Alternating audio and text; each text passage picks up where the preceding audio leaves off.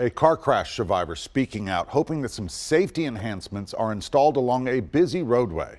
Well, this comes after three people died in a crash just this morning on that same road, Highway 31 in Spring Hill. News Channel 5's Aaron Cantrell has been digging into this story to find out how often these crashes are happening.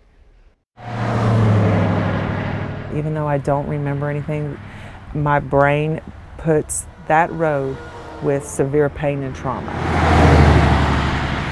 Therefore, avoid, avoid.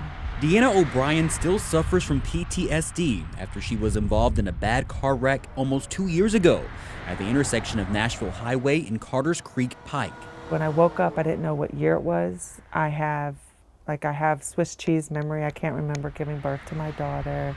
Images of her wreck reveal how horrific it was. The multi vehicle crash left one person dead.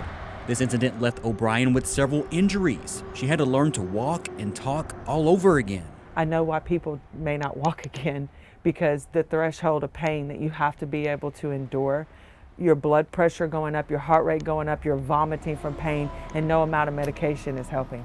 A lot of those scary feelings came back after Friday morning's crash not far from the GM plant in Spring Hill.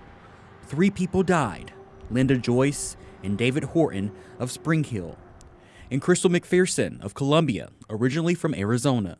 Where this crash happened is in Spring Hill, but not too far down the road, the jurisdiction changes to the Columbia Police Department. And both law enforcement agencies say drivers just need to slow down. Last year, there were over a dozen crashes within the same stretch of highway from Friday morning's crash.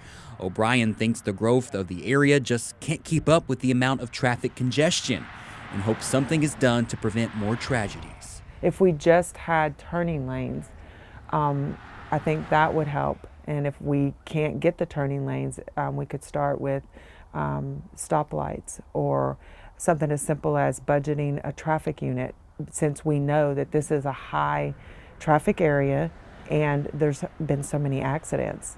In Spring Hill, Aaron Cantrell, News Channel 5. O'Brien has not fully recovered. She still struggles picking up heavy objects and getting behind the wheel. Today's crash is under investigation.